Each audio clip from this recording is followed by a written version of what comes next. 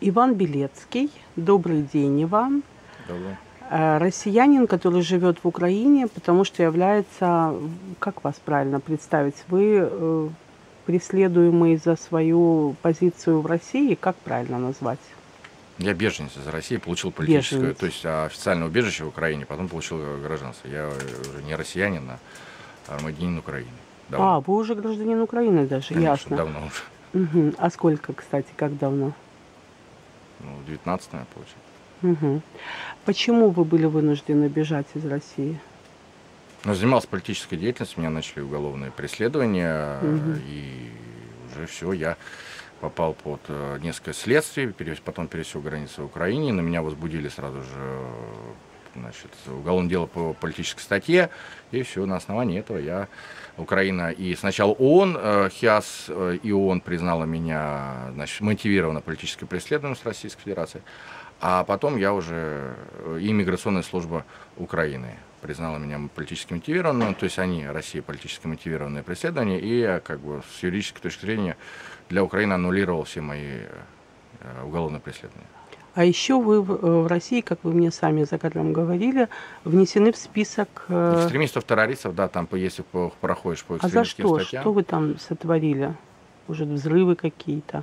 Ничего, я записал YouTube ролик, э, и он, его признали экстремистским, и все. А что было в ролике такого опасного для правительства? Ничего, я призвал выйти на, на, ну, на акции протеста. Ничего там не было. На акции протеста Ну, просто выйти и все, да, я призвал режима? выйти. Ну да, там бы- были акции протеста 4-5 ноября 2017 года, это Мгм. известная дата, там Мгм. э, русский марш переходит в пятое. Пятое, условно называлось там э, Мгм. революция. Ну, это в кавычках было. Вот, и я призвал просто выйти э, конкретно. Ну, а тогда всех сажали и все выдавали эти э, экстремистские статьи, поэтому все и внесли. Но я еще за создание партии официальной, которая в Минюсте регистрировалась, про- проходил по делу, но его не, за- не докончили. Значит, я как создатель экстремистского сообщества, хотя партия была официальной. Просто лепят дела и все, там ничего проблем Кстати, нет. вот для нас все-таки это немножко странно, потому что у нас и в Донецке, да и вообще в Украине, кто созда- создавал и ходил на русские марши, они же ядро ДНР и ЛНР, они же из Да. местных, они же наоборот э, фанатики Путина, России имперской, они все э, вот эти вот э, шагатели по русским маршам, это фактически э, враги Украины, а у вас как-то странно наоборот Ну, получилось. у нас национализм Объясните. был расколот именно на... Он вообще был всегда двухсторонний. То есть были ли те, которые пропутинисты, основную политику государства, те, кто против, ну, как государственники, против государства путинского. И всегда был раскол. А на почве Украины одна часть националистов просто поддержала Украину, и все официально.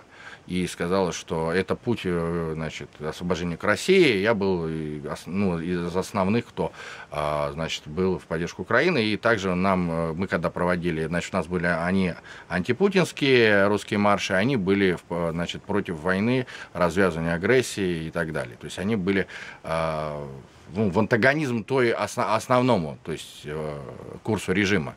Мы были как бы антирежимные, а, именно русские. Ну и вот мы и все были подходим- репрессированы, по сути. Значит, я вас представила, а теперь мы подходим к нашей главной теме.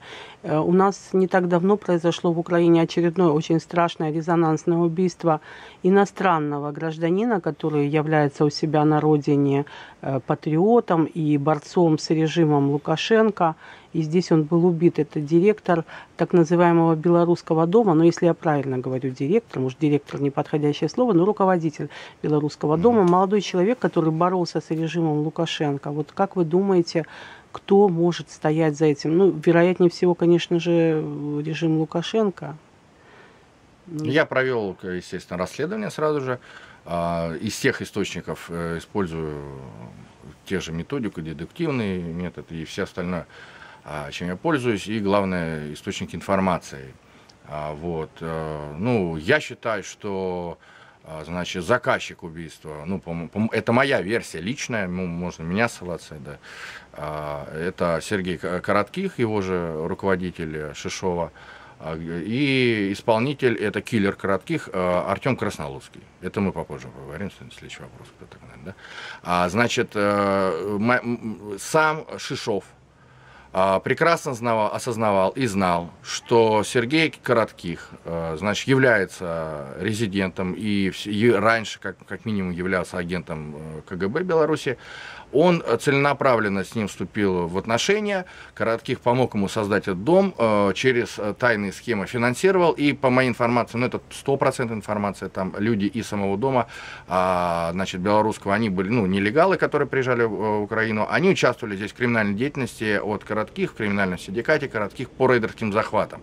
То есть они, имея э, нелегальный статус или там вид на жительство, их, значит, Шишов и Батулин, второй, которого не пустили сейчас в Украину, они направляли через коротких на криминальную деятельность. Это информация из первоисточника от тех, кто там занимался. Все.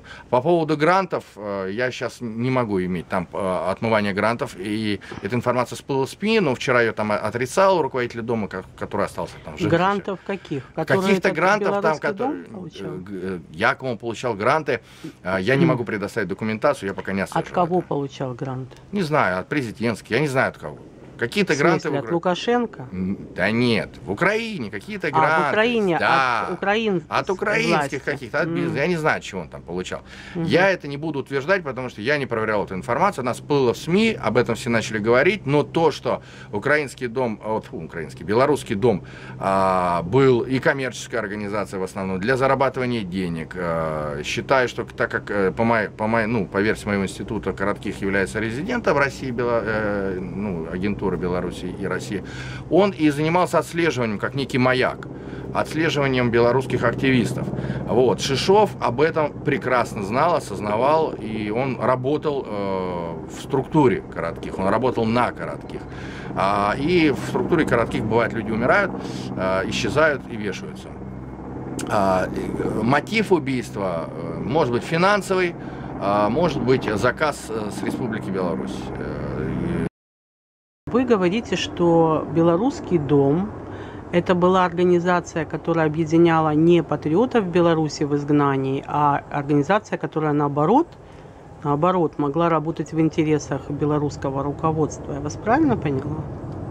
Правильно понимаете, но с одной э, значит, э, пометкой сами э, участники э, Белорусского дома, они об этом знать не могли, и об этом знают 2-3 человека, которые там были. Я считаю, о целях основных Белорусского дома знают те, кто там занимался всеми делами. Это Коротких, э, Батулин и Шишов. Они знали, для чего он создан. Остальные, как в любых организациях, э, значит, просто затягивались, и искренне они веровали в свое руководство и веруют до сих пор.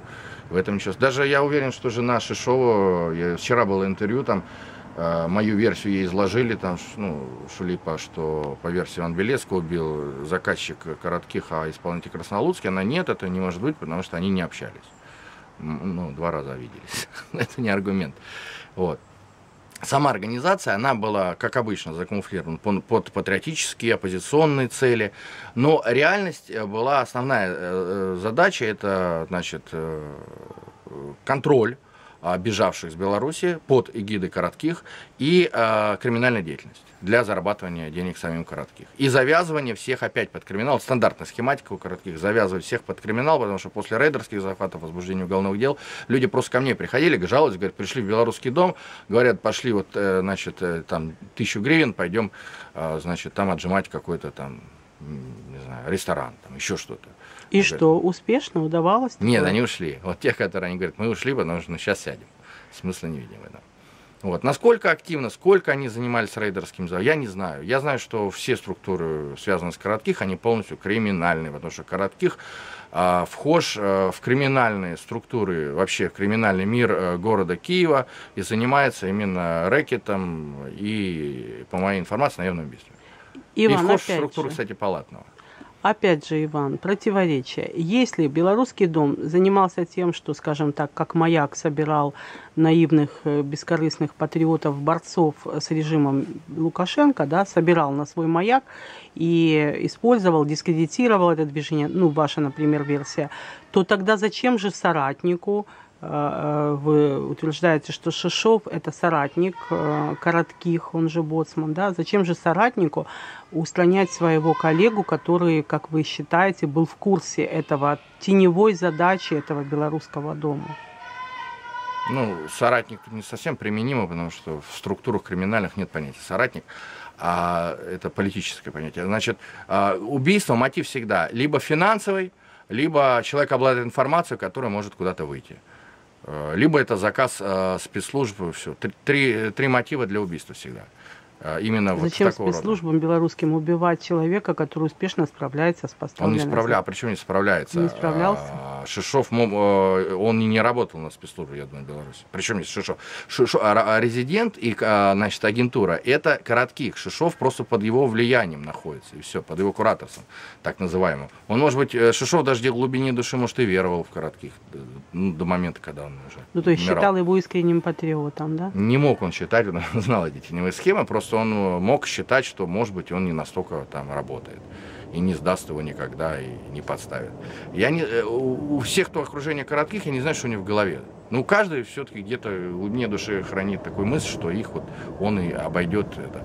А вся ответственность за любую агентурную деятельность именно в отношении белорусского лежит только на коротких. Я не Шишов, я не думаю, что он может, и, я уверен, что он и патриот, и все-все-все, но просто ему условия хорошие предложили, в смысле финансовой заработок. Вы имеете да? в виду, Шишов был патриот? Ш я уверен, что он и оппозиционер изначально был, всегда был. И даже... А потом попал под влияние. Он, как и все. Так же, как те, кто переходил от российских э, националистов в подчинение коротких, э, так же, как и мне неоднократно предлагали быть под так называемым коротких.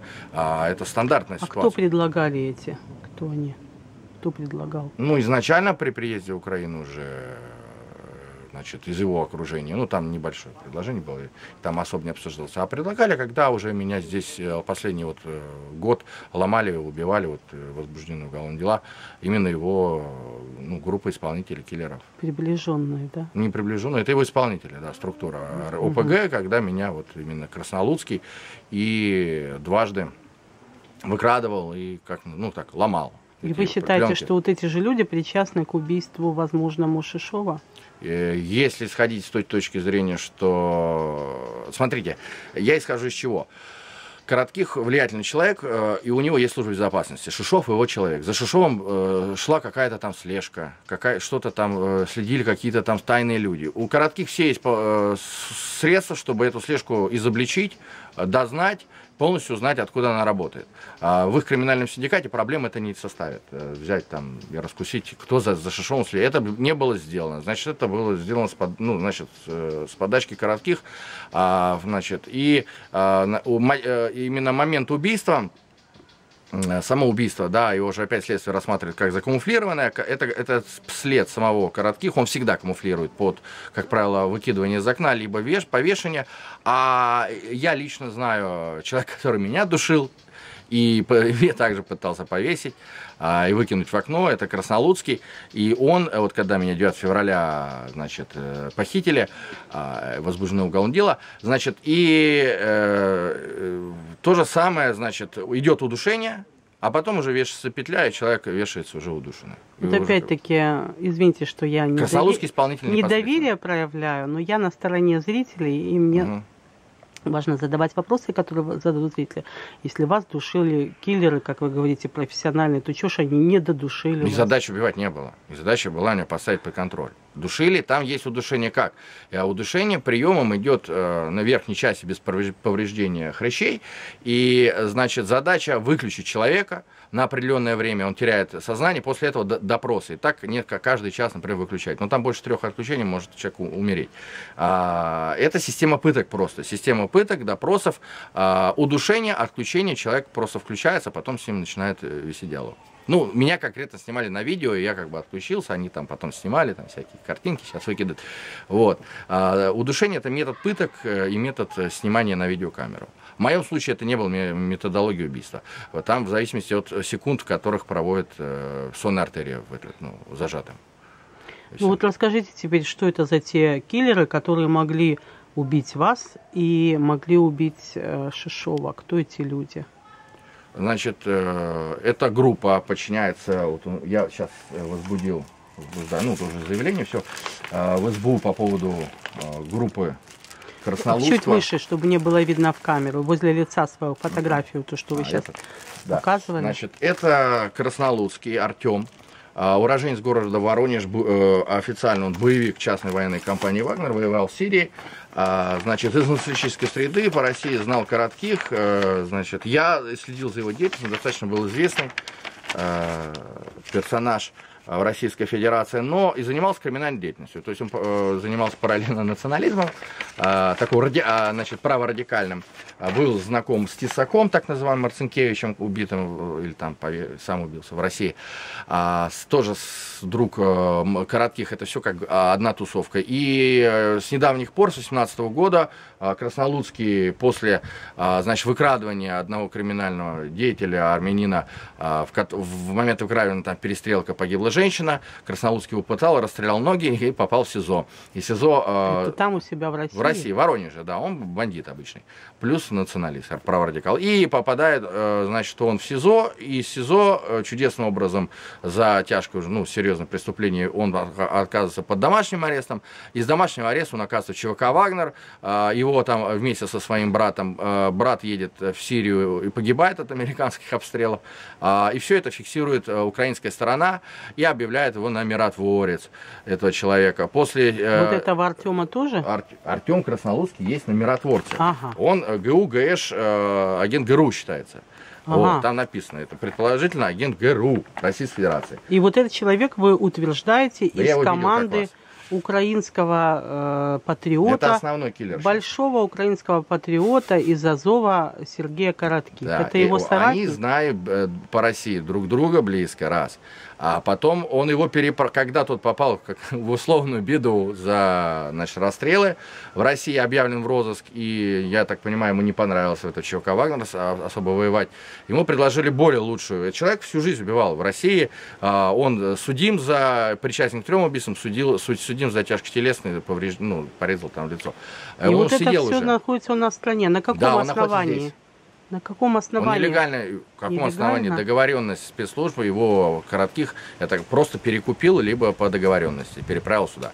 А задача исполнять заказы. А украинские, коротких. ну раз он на миротворце есть, украинские спецслужбы куда он смотрят? Они перешел. знают, что есть такой человек же? Ну, раз... Во-первых, они знают. Во-вторых, я возбудил дело по этому человеку возбуждаю, записал ну. полностью и все диски отдал. Они знают, что он здесь, они занимаются его Ну, его разыскивают, я надеюсь. Ну, официально, да как, ну, как проводят разыскные мероприятия, э, уже давно mm-hmm. при том. Но, mm-hmm. смотрите, он перешел нелегально границу раз, получил здесь документы, как э, таксист сейчас то же самое, э, который нелегально тут тоже по Киеву бегает, а, они получают от коротких какие, э, либо паспорта липовые, либо они, может, не липовые паспорта, внесенные в реестр. Это же человек Авакова. Он легко может любого а, выдать паспорт. Это, кстати, никогда в криминальной среде вообще, ну, в криминальных группировках нету проблем с поддельными документами, с любыми паспортами. Это достаточно ну, сумму стоит.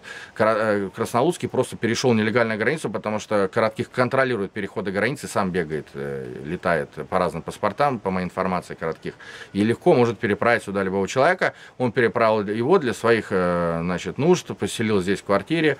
Он Краснолудский связан с Никитой Макеевым, который прыгал на Порошен... про... кортеж Порошенко, они вообще близкие друзья. А, значит, как я это выяснил, в течение полугода шантажей Краснолудский пытался со мной как бы функционировать, ну, как бы, ну, контролировать и периодически постоянно, ну, пытался общаться. И я выяснил, кто он, как он, и что. И потом даже а, Макеев там э, от него тоже писал, звонил. И, в общем, они как-то меня пытались почему-то э, подмять под себя. Но, э, естественно, это не получилось, они не понимают, я такой. Вот, и я их... А кто вы такой? Ну, я человек, который не, не буду, я не работал под спецслужбами России, под Путиным, а уж тем более я не буду под каким-то для меня, ну, мелкой, мелким человеком коротких никогда. А ну, под кем будете? Кто для вас я крупный? Сам. Нет, я ни под кем не буду. Я сам буду. Я не для этого, значит, жизнь прожил и а, попадал в розыски для того, чтобы приехать в Украину. А для чего? Ну, я идеологически идейный человек, это мой жизненный путь. Мой... В чем ваша идея, ваш, ваша цель? Ну, у меня свои, ну, своя идеология, значит, и а, ну, я, я считаю себя традиционно правым консерватором, но я за а, значит, отстаивание свободы и все. То есть я против тирании, против всяких... В значит, России? В России, в Украине, везде, мне без разницы. То есть я против э, тирании этих тоталитарных режимов. Это, в принципе, основное. То есть вы борец с режимом Путина? Ну, изначально, то есть, да, меня объявили за это в розыск, там, за свержение Путина в материалах дела, за организацию по Майдану, ну, схожей с Майданом обстановки. Ну, я ничего не организовал, на самом деле, это просто придумали по материалам следствия. А, да, ну, Путин установил же тоталитарный режим, да, то есть э, совок 2.0. Вот. Я против, э, ну, я вообще против криминальных вот этих синдикатов выступаю всегда, против, я за правовое государство, за развитие общества, ну, за, за нормальное ну и за демократию, естественно, в таком нормальном понимании. Вы несколько раз употребили вот эту фразу интересную «криминальный синдикат». Это для меня тема очень интересная. Криминал, мафия, этим всю жизнь занимаюсь. Угу. Я правильно понимаю, что вот упомянутый вами гражданин России, который нелегально находится в Украине, Артем Краснолуцкий, он не только вагнеровец в прошлом, который воевал, совершал международные преступления на территории Сирии, как я догадываюсь, он не только может быть причастен к убийству Шишова, как вы считаете, и э, на вас совершал атаки, но он может брать криминальные подряды у нас в стране и просто как киллер э, трудиться, так сказать, совершать преступления в нашей стране за деньги. И что такое криминальный я, синдикат, да, о котором вы первое. говорите? Э, я более чем уверен, что он причастен к ряду убийств и преступлений в Украине. На территории Украины. Ну, потому что он, когда меня допрашивал, он бахвастался, что он там бегает. То есть, э, ну, это как у него маниакально еще. Я психологический тип изучил, он достаточно маньяк где-то в глубине души. И он э, любит бахвастать своими преступлениями. А вот, поэтому говорил, я вот, да, я наемный, там, убиваюсь там, в лесу и так далее вывожу. Я уверен, что ему, э, человек занимался этим, не знаю сколько уже, 2014 уже, ну, лет 15 точно. А, другим он заниматься не может. 14 не 15. 2005, 2004, извините, да, 2004 угу. ошибка. А сколько ему лет? А, ой, я не помню, 80, я не помню, какого года рождения. Ну, угу. ровесник где-то. Вот. То есть это, в, в, ну, он с, с юного возраста, то есть он всю жизнь занимался насильственным преступлением, всю угу. жизнь. А потом уже перешел на убийство, на выкрадывание. Артем Краснолуцкий, его реальная фамилия? Да. России, так он звался. Артем Краснолуцкий, угу. да. Угу. Значит, он э, всю жизнь этим занимался, в Украину переправлен исключительно для этих целей. Работать охранником, либо просто там спортсменом он не будет. То есть человек, который... Для этого провели эту спецоперацию, выдернули его из ЧВК «Вагнер». А, значит, ну, я думаю, что вот сейчас я его изобличил, э, я думаю, что для них это не очень хорошо, мягко говоря, но это их вина для, для их криминальных структур, что на политиков нападать и при том Э, которых я их знаю всех, ну, странная логика была. Вот. А так, в принципе, я уверен, что и на данный момент он совершает преступление, иначе он просто будет отправлен обратно в Россию. Если он не будет совершать преступление, он получает зарплату. Он находится в структуре а, коротких, он его близкий человек, они встречаются неоднократно, а, значит, э, ну, постоянно, то есть, встречаются. И он вообще близкий к нему человек. Поэтому а, это как близкий киллер. И поэтому, а, значит, другой работы он не знает. Это первое. То есть он э, обязательно совершает преступление. Я сколько раз уже всем говорил и встречался с силовиками, говорю, ну, что непонятно. Вот тут меня, ну, то есть, выкрадывают, убивают, завтра другого, и завтра и будет новые трупы, новые трупы, новые, новые трупы. Это киллер, который занимается убийствами и выкрадыванием. Больше ничего. Пока, если его ну, никто не остановит, так и будет дальше, пускай выкрадывает, значит, ну, в кавычках. А по поводу криминальный синдикат. Почему именно слово, слово синдикат? Понимаете, есть такое криминальное ОПГ, группа формирования там а, преступных, да, то есть это ограниченный круг. А синдикат это всегда разветвленная сеть, щупальцами. Все, что связано коротких, это именно синдикаты. Они вхожи как, а, значит, в первую очередь, криминальные синдикаты, криминальные структуры всего, всей Украины, в первую очередь Киева а, значит, связан с разными группировками, а, с разными структурами, э, вхожи в силовые органы Украины, вот, имеет разветвленную сеть а, которая, помимо так называемой группировки Боцмана, который, контролирует и националистов, нацкорпус и так далее, а, который тоже выполняет для него подряды. Есть еще а, другие группировки, которые он э, возглавляет и так далее. Но в целом, я думаю, что там основной костяк человек 20, они сидят на зарплатах. Это типичная классическая ОПГ, но в силу э, щупальцев, у которых есть и коротких, это подходит под понятие синдикат. А в целом, конечно, это выращивается еще в более синдикат, который окутывает всю Украину. Все мы смотрели расследование Маркуса. Это криминальный синдикат э, Авакова, тут, э, который до сих пор спокойно здравствует. Ну да, но только Аваков уже все-таки не министр, А э, гражданин Коротких, э, в чем его, так сказать, сила и уверенность в себе? Вот уже Аваков не министр.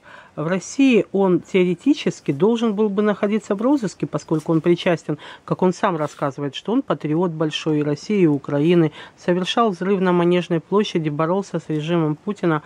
Только я не понимаю, если он боролся, чего он не в розыске международном? Он э, же может выехать за территорию Украины сейчас и не попасть в тюрьму? Он же не в розыске. Он не находится ни под каким уголовным преследованием нет одного государства мира. Особенно, а, ну и, естественно, от России. У него нет никаких ни административных нарушений, ни уголовных преследований, ни на допрос. Он в Украине ни разу не был допрошен даже. Раз он взрывал на Манежной площади что-то там в Москве, он должен быть в международном розыске и не иметь возможность выехать за пределы Украины. Да? Вот только он выезжает, его сразу должны э, арестовать. Вот э, вы, например, э, террорист по версии Путина, и вы не можете, скорее всего, путешествовать свободно по Европе. А Сергей может? Начнем с меня, да. Я проходил просто по уголовному делу, и я нахожусь в списках экстремистов, меня подавали в Интерпол. А, значит, каждая страна принимает для себя значит, личное решение. Украина, например, меня не взяла международный розыск. То есть, передвигаясь по миру, я в любой стране могу быть э, в теории задержан и посажен в СИЗО для выяснения обстоятельств а э, Коротких не находится ни под какими преследованиями. Все уголовные дела, он был сам связан и был руководителем самой громкой значит, структуры экстремистской, которая э, там у них более 40 убийств по России. А, всем известный НСО, он не привлекался ни разу к уголовной ответственности. Ну, недавно сейчас всплыли... Что всем известное? НСО, национальное значит, общество, оно более 40 убийств. Это Владимир Антонович снимал по этому фильм. Да, чтобы вот. мы понимали, Руководитель, да, Владимир Антонович кредитный убийца, да, хороший фильм. И а, там а, вот это, значит, руководителем этой организации был Коротких с Румянцевым. Он э, допрашивался, и на допросе недавно, вот были видеозаписи, что всех сдал, и это было сразу после задержания. А, в момент вот этого, значит, когда уже следствие шло по НСО, он всех сдал, сдал своего друга Марцинкевича и подписал, э, значит, договор о вербовке. Откуда вы это знаете? А вот сейчас весь интернет, все опубликовали данные. Что Откуда это известно? Ну, вдруг мы не смотрели весь интернет. А, видеозаписи всплыли, что Коротких э, договор, договор, ну, дает добро на сотрудничество с правоохранительными органами Российской Федерации и пишет расписку о добровольной, добровольном сотрудничестве в рамках э, ну, мероприятия, розыска там, и доложения угу. О преступлениях по экстремизму. И угу. на, Будучи на допросе... руководителем организации, Будучи... которая этнически убийство, убийство на национальной почве Да, они уже тогда начали совершать, это как раз ноябрь был, он тогда сразу же расписку зачем-то дал, а, значит, и контроль, но он уже тогда якобы вышел, его отчислили за там развратные действия, ну это там, по-моему, порнографию распространял, его выгнали. Вот. Но он все равно держал связь с этой организацией, и она тогда уже занималась в момент его расписки убийствами и так далее. И, естественно, он привлекался к, э, к допросам, и эти допросы сейчас всплыли в интернете. А, я, я, я уверен, все говорят, от ФСБ его сливает. Нет, это я уверен, что кто-то из... Э, там допросы чисто в кафе были. Даже не допросы, а просто расспросы. Это не, даже на следственные мероприятия не тянут. Они вышли в интернет, и через частные источники кто-то в Украине их перекупил. Возможно, украинский спецслужбы спецслужбы имели этот уже компромат э, давным-давно. И они просто сейчас выбросили его, пока вот эта волна идет. А с какой целью? А ну волна идет просто коротких является, он же в конфронтации еще с, с, ну, с, с основным руководством СБУ находится, он, условно говоря, противоборствует СБУ. Угу. А, вполне возможно, То украинская есть украинская СБУ сливает вместо того, чтобы расследовать преступления, которые совершаются в Украине, они сливают, да? Ну, про... ну как сливают? Они как бы наносят ему вред, я так понимаю. Вместо того, чтобы задержать. Вместо того, что арестовать, расследовать. вот прямо сейчас, да, выехать, на, вызвать, позвонить да. и сказать, да, задержите его хотя бы для да, первичного допроса. Ну, а почему? И... Если вот все, что вы говорите, правда, то вот мне вот непонятно, как это у нас стране действует иностранный резидент, как вы говорите, прям глава иностранный да, резидент, так еще из, из страны, которая против нас ведет открытую Война, агрессию. Да. Она же СБУ сливает какие-то там, какой-то компромат на него вместо того, чтобы задержать. Значит, не, не с чем задерживать. Вот я, как обыватель, делаю такую вот. Значит, все, что рассказывает Иван, это просто версия. А задерживать СБУ этого коротких не с чем. Ну, смотрите, а, коротких, э, значит, эм, там проводим журналистские расследования, это то, это не то. Но спецслужбы более обширные материалы, они могут прослушивать, Да, они э, допрашивать. могут. В течение 7 лет нахождения в Украине, э, ну, мне известно, что он вхож в криминальные круги всей Украины и... э, Вот об этом поподробнее. Мне Да. интересно, что В у нас в криминальном случае, мире происходит э, сейчас. Всея Украина. И какая роль там коротких, Я уже говорил, его, его роль это рейдерские захваты, крышевание, выделение своих бойцов а, на рейдерские захваты и наемное убийство. Крыша Авакова обеспечила ему, а Аваков и давлеет на спецслужбы все, все, и он и пограничную, а и с СБУ он тоже договаривается. Естественно, это обеспечивает неприкосновенность. Именно то, что он человек Авакова, он близкий человек его семье. Вот. А, И до сих пор это обеспечивает неприкосновенность. Почему спецслужбы? А, э, а вопрос из, э, от этого. Это человек Авакова, Аваков вхож, контролирует до сих пор МВД, и вхож э, в СБУ, они там все силовики друг с другом нормально общаются, и поэтому это обеспечит его неприкосновенность, ну, пока, на данный момент. И э, если Аваков в силе остается, то это будет, будет и дальше обеспечивать э, неприкосновенность. Почему, например, э, Коротких был обеспечен неприкосновенность Российской Федерации? Он человек Суркова был, Владислава, который возглавлял кампанию на а, военно, значит, военную кампанию против Украины на Донбассе, Сурков, да, а, из администрации президента Путина. Коротких был его человек, поэтому тоже взрывая и убивая на территории России, К- Коротких, значит, никогда не преследовался, ничего. А, по поводу Авакова, ну, понимаете, это пост, э, значит, сове- Аваков, он в криминальной деятельности, это всю жизнь участвовал, ну, знает всех, да, и все это приплетено постсоветское пространство, поэтому а, договориться в свое время было передать ему сюда, а, значит, из России коротких, чтобы он тут вместе с ним делал хороший бизнес, это, ну, это основная моя Это версия. с выглядит все-таки как, э, как голословная версия. Давайте вернемся к другому. Если Мгм. вы утверждаете, что э, Коротких э, связан тесно с Сурковым, то, во-первых, на основании чего вы это утверждаете, что вам дает э, право так говорить? И второе, у нас появился в стране после начала российской агрессии Коротких, появился с какой целью, как вы думаете? Ну, это, цель была введение подрывной деятельности на территории На Украины. территории Украины. Да, его послали сюда для этого, и он исполняет это до сих пор. Но в то же время министр Аваков имеет а, цели именно обогащения. Поэтому как бы некий договор. А, э, на чем основывается версия, что Коротких связан с Сурковым? Потому что ту организацию, которую он сделал, это был проект Суркова, НСО, изначально головной проект, не тот, который откололся потом. Это был проект Суркова, а, т- значит, под э, ФСБ, это первое. Второе, Коротких получал деньги, работал непосредственно с Денисом администра- значит, отец его администрации связан с с правительством, большой чиновник, это финансист-реструктор, я их всех знаю, они со мной воевали, ну, медийно, физически, еще когда в России находился, я эти все структуры знаю.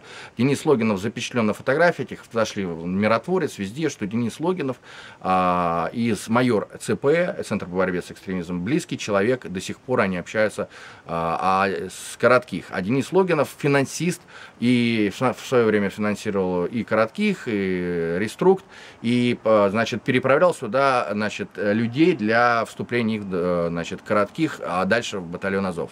Это было в самом начале а, когда формировался только батальон. И фотографии, все свидетельства, они лежат на миротворцах, что Коротких связан с Денисом Логином, а Денис Логин человек Суркова.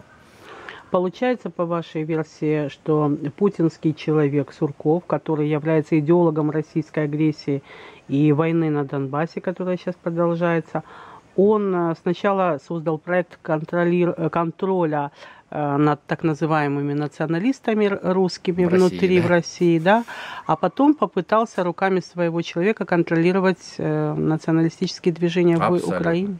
Управляемый национализм, да, для своих целей. Националистическая среда, она радикальная, она опасная. А В России она была подчинена, нивелирована и поставлена на службу государства. В Украине она тоже опасная, поэтому коррумпированные схемы, договор- договоренностями, манипуляциями, они также здесь ставят сейчас на контроль, и мы это все прекрасно видим. И получается, если ну, да. вернуться к, к тому, с чего мы начали в разговоре нашем к убийству Шишова, получается, что и белорусских националистов точно так же с помощью российского ФСБ контролируют, э, контролируют те же люди руками тех же своих людей. Да, ну для меня лично, вот по моему дом. личному опыту, когда я уже столкнулся с коротких и с его структурами, я, самом деле, изначально-то нормально, ну, как бы знал, что он агент, ну, думал, э, и с нас корпусом поддерживает, с Азовом дела. У меня у всех очень много друзей с Азова. А, но потом я вывел для себя формулу, что любое с ними общение это как попадание в сеточку, в ловушку. Эта ловушка будет контролироваться, ну, сеть для иммиграции.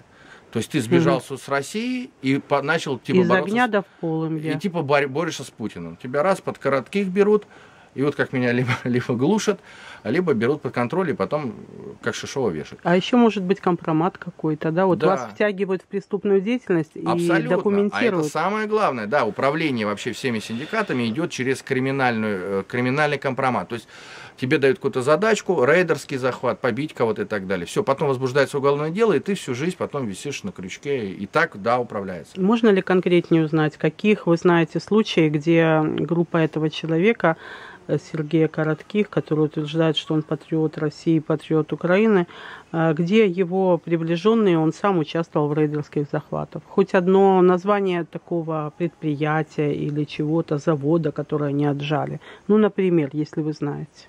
Ну, я же не, я ж не вхож в эти структуры. Я Хорошо, знаю, откуда вы знаете, бизнесе откуда вы знаете про рейдерство тогда? Я же э, общался с представителем нацкорпуса, с тем же таксистом, кстати, хорошо общался, который сейчас ожил, и который занимался этими официально зеркой. Что там про песок вы хотели сказать? Да, ну просто что знаю, что у него были какие-то Добыча. конфликты с каким-то там лешим, я не знаю, в общем, они не поделились другим криминальным Ну, авторитетом, его выгнали. Один этого пример. бизнеса. э, Я брала интервью у Романа Ратушного, это лидер протестов за сохранение Протасова Яра в Киеве. И вот он говорит, что первая бригада тетушек, которые пришли защищать застройщика, это были люди Боцмана. Вот такой у меня есть. Ну да, по застройке там, э, что я знаю, я, я, честно говоря, не специализируюсь конкретно на каких-то ресторанах, которые они отжимали, или заводах, там, а, они же Ахметова там как бы Мгм. крышуют, не крышут, как это факт. Охраняют. Да, охраняют. Это легальная- Да, легальная легально. крыша, да. То есть э, назвать я не помню даже, какие Иван, рестораны. давайте тоже опять неприятный вопрос, но без Мгм. обид, потому что мы должны быть не на вашей стороне, мы должны, наши Правильно. зрители и я, мы должны быть нейтральны над э, схваткой. Скажите, пожалуйста, а вы за что живете? Ну вот мы, мы украинские патриоты, мы с недоверием относимся ко всем русским, не обижайтесь, но это никуда не деть. Э, Вы хоть уже теперь гражданин Украины, а мы все равно с недоверием к вам и вам, вашим коллегам относимся, потому что у нас есть печальный опыт. Нас уже предали наши друзья, так сказать, из России, и мы никому не доверяем. Так вот, за что вы живете и почему вашим словам надо доверять? Ну, живу я, за, во- во-первых, у меня есть э, небольшой бизнес, э, значит, э, здесь в Украине, это раз.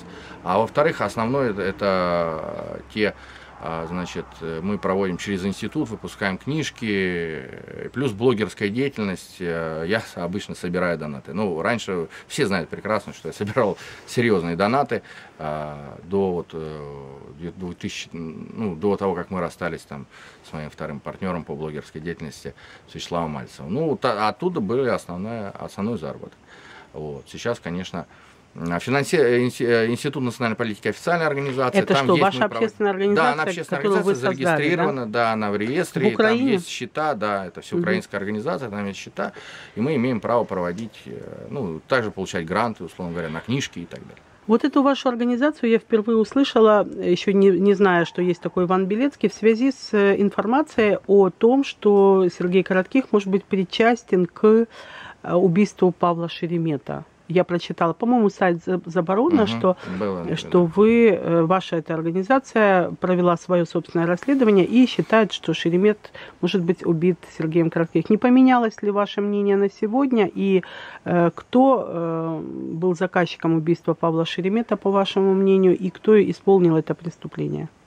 Да, начнем с того, что а, оно просто, это расследование небольшое, оно просто вошло в общее расследование по э, коротких, по его, э, значит, то, что он агент влияния по заключению института, но помимо коротких, мой институт расследует всех агентов влияния вообще, и не только Российской Федерации. То есть у нас просто такая профдеятельность, расследовать агентов влияния. А, а так как я вхож в эти, ну, националистические там круги был, я лично взял основную роль в расследовании, хотя там пять человек э, занимался расследованием. Так, а там, там есть одна из, ну, основная версия, кажется, что Коротких причастен к убийству Шеремета а, в, в силу того, что он, э, исходя из э, концепции того, что он э, начальник резидентов э, и подготовлен специалист ну, укра... этот, это, белорусского КГБ, он мог получить подряд на устранение врага Лукашенко. Мы, э, Черемет был личным врагом э, значит, Лукашенко, у них была э, личная неприязнь, он неоднократно пытался э, значит, посадить, и я думаю, что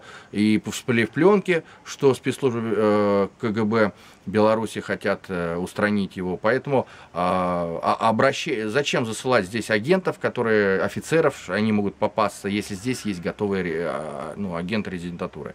И плюс еще долго, долгоиграющие планы, версию по Киеву, ну вообще вот в политических кругах выдвинул именно я по поводу дублеров. А, Ант, Ант, Антоненко, Кузьменко, это под них подбирались дублеры изначально, чтобы их подставить. А, ну, это предположение, естественно, вот, но а, исходя даже из той, из той фирменной, хотя это не его даже, ну, это балахон Антоненко, да, он же музыкант, у него такие балахоны есть. Зачем идти на преступление в своем фирменном балахоне, выдавая себя? Если вы хотите подставить, да, это очевидно. На чем основывалась ваша убежденность о причастности коротких. Ведь по словам, опять же, коротких и по тем публикациям, которые сохранились Шеремета, там в целом позитивное. Он пишет, что э, коротких пишет Шеремет, а на все мои вопросы ответил и как бы снял все претензии к себе, Плюс он ему доверял, потому что перед смертью они встречались, обсуждали.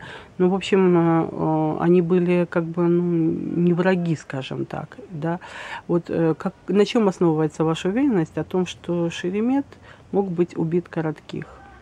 И почему заказу? Во-первых, да. Во-первых, мы не знаем, что было на этой встрече, в каких эмоциональных тонах она прошла. Там было не только Андрей Белецкий и Коротких, и там еще какие-то азовцы стояли. Это первое. Э, для чего устранять, э, я еще раз говорю, здесь, э, исходя из, из того, что Коротких является агентом и связан с белорусскими спецслужбами, просто поступил заказ. И через него было это проще всего сделать, не же засылать сюда кучу людей. А по версии Владимира Антоневича с инфо информационных источников, а, именно непосредственно закладкой и женщины, которая была на видео, там и закладкой самой взрывчатки занималась а, Зигунова. Это из группировки Бацманят, э, из э, значит, российского реструкта. А, она здесь на территории Украины находится. Она очень близкая к Коротких, они даже живут вместе, она даже оформляет на нее какие-то эквадор или какие-то там дома в Латинской Америке, любовники и так далее. И она тоже вхожа в криминальную структуру его, она очень близкий к нему человек. И по версии Влади Антоневича, которая разошлась, ее поддерживает то же самое этот, э, ну, была акция Руха по капитуляции, там, в общем, они тоже... Руху по капитуляции тоже так поддерживает? Они и нарисовали, взяли, поставили э, этот, фигурки, что Зигунова и Коротких взрывает. Но взрывал не Коротких, там, а там другой, я уже не помню, Княжевский, по-моему, которого убили уже, да? Э, если Это тоже один из этой группировки? Ну, назовец он, да, он, конечно, в группировке mm-hmm. был. А, это, значит, все это опубликовано везде. Это как версия, да. А, а вот эта Зигунова, она тоже нелегально в Украине или уже тоже гражданка знаю, Украины? Может, она уже гражданка. Мне кажется, она вид на жительство. У нас так имеет... легко получают гражданство э, лица э, приближенные. Ну, нет, вид на жительство легко получает, гражданство нет, нелегко получить. Ну, Просто так, так не вот, получится. Как же так получается? А, ну, кстати, Иван, затянул... вы тоже получили гражданство. А? Вот вы тоже получили А я получил официально по территориальному происхождению украинец этнический. У вас... У меня родственники отсюда. Конечно, угу. я по, значит, по, по восьмой по этой, по закону просто пошел, подал документы и все. Они То есть вам не помогало Министерство внутренних Они даже не знали об этом. Или Боцман? А что там помогать? Там официальный закон в течение трех месяцев принятия в гражданство.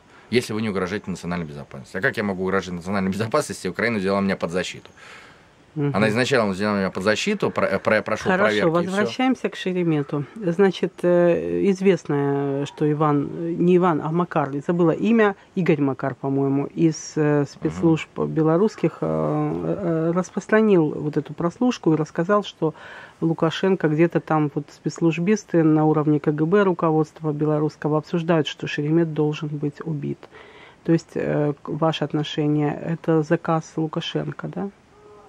Ну и для меня, да, это очевидно. То есть э, такого, посмотрите, такого уровня преступления, которое потом было э, растянуто на э, вся эта разработка, это не только, я думаю, сам Лука, этот, Лукашенко, это еще и Сурков тут задействован, аналитический отдел ФСБ. Или а им внешне... зачем? А им зачем? Если... Дискр... Это заранее операция, продуманная, если с дублерами версия, а дублеры были подобраны под Кузьменко, это, музыканты и так далее, чтобы в нужный момент перед, э, значит, бахнуть, и что считаете, дискредитация всей, это выгодно России было. То это был не только убийство врага, личного врага да, Лукашенко, но и дискредитация украинского добровольческого действия, да. добровольческого движения. Под уже выборы, после выборов там э, дискредитация. Та же волна же пошла. Это началось расследование, которое уже умерло. Э, все развалилось. Вот. И на этом пиар был такой, вот они сделали конференцию. Там даже так э, получается, точнее и понятнее. А в мотив следствия этого, дурацкое следствие, э, обвиняющее этих двух, Кузьменко и Антоненко, вложило, что убили Шеремета с целью взорвать, так сказать, общество изнутри, создать дестабилизацию. А на самом деле дестабилизацию вызвало фактически и массовые протесты, да. обвинения добровольца да, и волонтера. Значит, это и есть, да, это действительно Вы полагаете, что здесь было, так сказать, Изначально одним выстрелом двух зайцев? Абсолютно. Да? Шеремет, э, ну, да, даже более выгодна дестабилизация, которая вызвана... Вообще, а, потушить вот эти националистические настроения, патриотические, нормальные, здоровые, не угу. всякие ОПГшки, а именно, и, значит, музыкант, он же не просто музыкант, он еще вхож, его очень любили СБУ, эти, контрразведка, он же пел по контрразведку. Ну, он спил, силы э, спец... Э, да, да, операции, то есть это удар по военной психологии, это вообще э, деморализация а, ну, сил, которые направлены... И раздрай внутри украинского раздрай, общества. Да, и получилось одни за, другие против, шатание в стране. Отли... То есть я думаю, что это спланированная спецоперация а, с дублерами. Вот вы рассказали о том, как была создана эта так называемая националистическая организация в России, которая совершала убийства на этнической почве. Э, расовые убийства. Антоневич об этом снял целый фильм. Во главе организации был Коротких, да. И э, вот у меня вопрос, насколько это для России, как у человека, который вы родились же в России, всю жизнь да. прожили, да, вот насколько это, москвич. знаете, у нас коренной москвич, да, вот у нас, вы знаете, в Украине, опять же, может, может показаться, что я хвалю как Куликсово болото, но мне кажется, что у нас в Украине вообще это не принято, наци, как сказать, не нацизм, антисемитизм и расовые преступления, это как-то, ну, не лепится к Украине. Это нам пытаются навязать искусственно, но оно не приживается.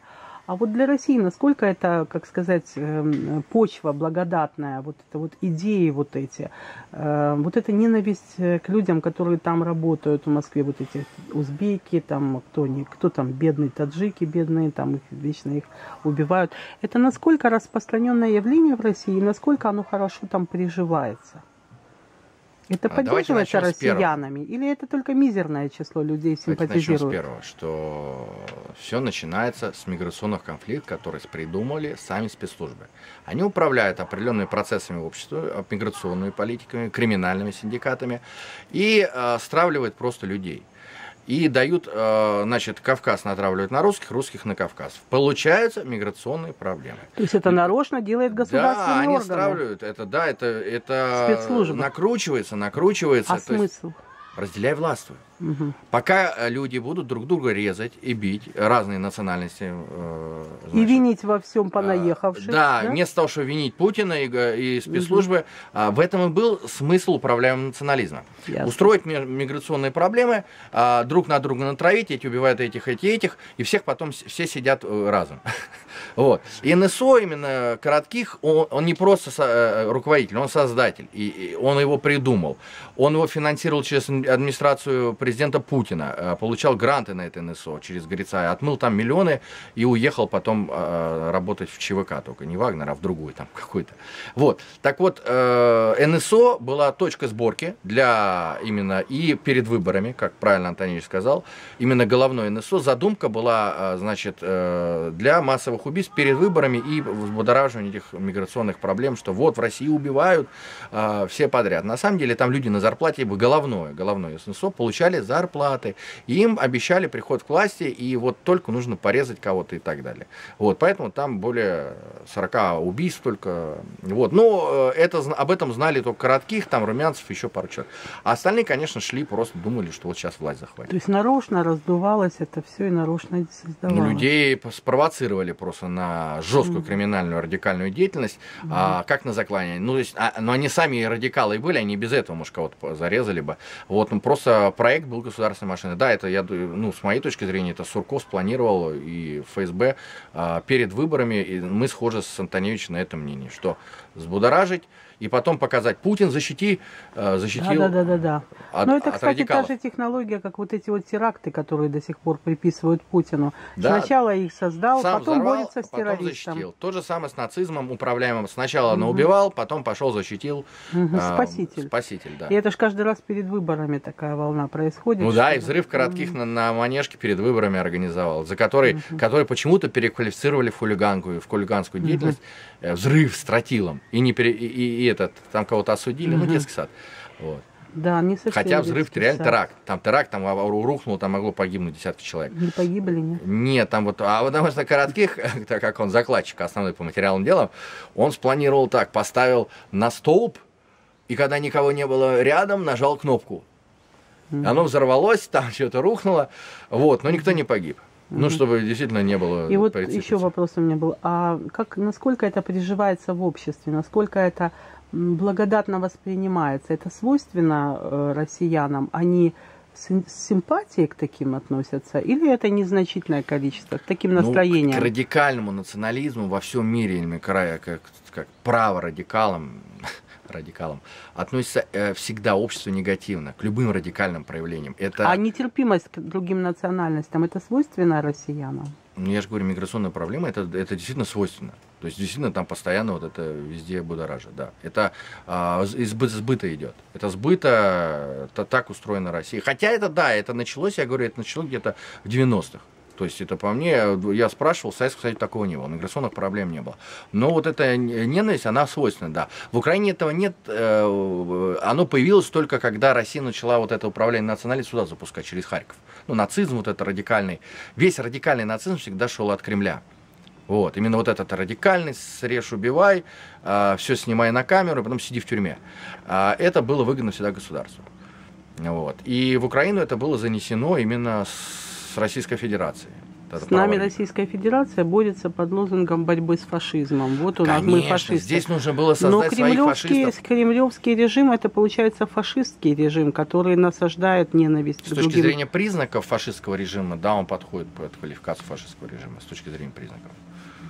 Вот. А, ну, то есть, э, и второй вопрос по поводу того, что Коротких нужен был как э, образ создать тут, э, э, значит, вот этих э, суперфашистов, прям показательных, для того, чтобы пропаганда в России себя лучше чувствовала, там и ДНР, ЛНР тоже более агитировались. Вот. Не для этого ли были нужны в националистическом батальоне вот эти ребята со свастикой? Для этого. Любой нормальный командир – зная наличие а, татуированных людей, а, сдал бы ну, приказ э, прятать это для того, чтобы СМИ не вылазило. Я объясню. Мы так проводили националистическое шествие в России. Я запретил любую э, символику, связанную с радикальными элементами. Потому что она дискредитирует а, само движение, отпугивает людей и дает негативный момент а, в СМИ на Запад. А для Украины это вообще жизненно важно. Если а, Украина будет пристанищем вот такого радикального нацизма, то это будет минус для вступления в ЕС. Это тоже нужно России, это на руку России. Э, в Европе есть же правые всякие, новые права, они в парламент входят как-то там, в Дании, там, вон в Польше пришли вообще к власти э, консерваторы, там, националисты, ничего они не без свастик ходят все. То есть сейчас это, ну... Э, а некоторые азовцы прям вот нарочно демонстрировали, да, свои вот такие свастики? Ну, им, им это дали приказ, чтобы они были супер э, самыми радикалами радикалы радикалищами вот, чтобы затянуть других радикалов из других стран. Я сюда приехал именно благодаря тому, что мои друзья приехали в Азов, но они поехали к Бабичу в свое время. Приехали, а Бабич уже убили сразу же и попали к Боцману, получается. У меня сейчас тоже ругаются, говорят, блин, ехали к Бабичу, попали к Боцману. Вот, а, значит, они стягивались как на маяк. Э, националисты, притом некоторые вообще э, бизнесмены даже. они, не Нет, они, нет, они даже не были неонацистами. А один из ну, э, криминальных... Если свастику человек нарисовал себе э, фашистскую, кто, то он не при, нацист. кто в, в Азов тянулся, большинство не были радикалами или там неонацистами.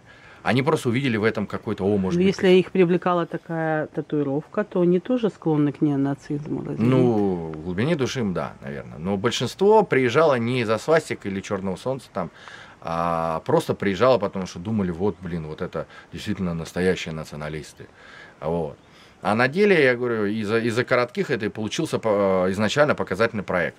Он до сих пор так и продолжается. Все, Украину обвиняют в пристанище фашизма в Европе. Ну, обвиняет кто? Россия, фашистская Россия. Россия обвиняет, и все это через шари улетает на, на Запад, в ЕС, и ЕС то же самое говорит. Что вот ну, они... говорит в ЕС опять же кто? Только те, которые на подсосе у Путина, опять же, это... э, А они говорят, ну, Общей вы понимаете, это что э, сейчас вон офис Зеленского громят. Кто? Они же не говорят, что громят оппозиционеры. Неонацисты. Это опять выходит э, везде в СМИ. Неонацизм в своем радикальном проявлении всегда будет э, вредить дипломати... ну, э, явно дип- э, дипломатическим отношениям с цивилизованными странами. Все. Это, это деструкция. Поэтому я говорю, в России я запрещал это, потому что это с нашими э, правозащитой, например, сразу же бы отказалась. Вот у меня, у нас был на, на маршах, правозащита просто приходила и проводила анализ марша, есть ли праворадикальные проявления. Если они есть, то все, это минус, это ну, как бы, деструкция, радикалы. Поэтому я это все убирал. Вот, того- и поэтому меня демократы очень хорошо относились, и поэтому одной из причин, почему я получил- убежище. Потому что я как бы официально отстаивал действительно демократические ценности в России.